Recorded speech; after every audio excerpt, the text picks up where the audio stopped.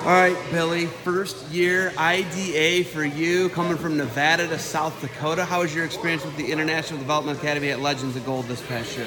Um, it's been great. We, we were able to like go to places that uh, we haven't like been to. We've been able to, to travel around the world and just wrestle at tournaments and just like this experience has been awesome. Uh, the coaches, we've been able to have uh, all these clinicians that usually don't, no one usually has, and uh, best punters too. It's I think it was a good year. Can't wait for the next year to come. What has your freestyle focus been like for you? Like your freestyle Greco focus, what's it been like to not have to wrestle folk style anymore and just focus on the Olympic styles? Um, it's been good. We usually we have like two folk style practices, but we mainly do all Greco and freestyling. It's helped me in my wrestling a lot.